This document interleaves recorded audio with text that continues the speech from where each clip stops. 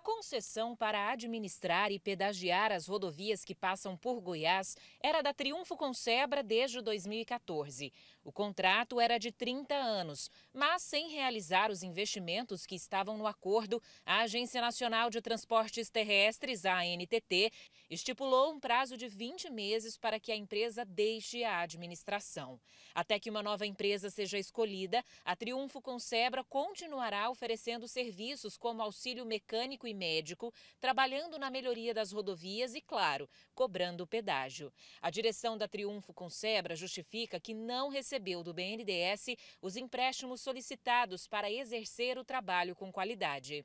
Um projeto como esse de infraestrutura, na qual o financiamento é um dos pilares, e não havendo a liberação deste, na condição na qual foi prometida para o mercado em 2012, acaba que por colapsar o projeto como um todo e com isto acaba que não resta outra alternativa para a companhia senão aderir à lei 13448, que é a relicitação, que é a devolução amigável.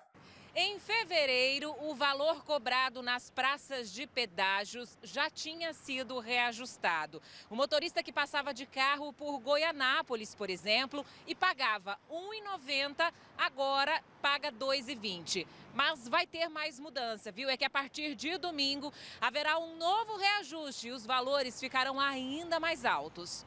Quem passar por Goianápolis de moto vai pagar R$ 2,55.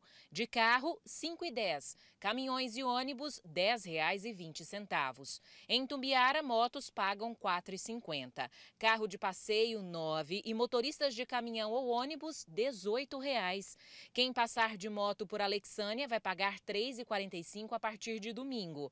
Carros, R$ 6,90. E caminhões e ônibus, R$ 13,80. Em Piracanjuba, motos vão pagar R$ 3,70, carros R$ 7,40 e veículos pesados R$ 14,80.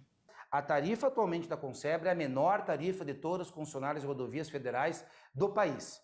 É R$ 2,90 para cada 100 quilômetros de rodovia. Com isso, neste período do aditivo, o poder concedente autoriza um complemento tarifário que ele ficará no patamar intermediário entre a concessão da BR 163 e da BR 040, né, a fim de que possa retomar a qualidade dos serviços prestados.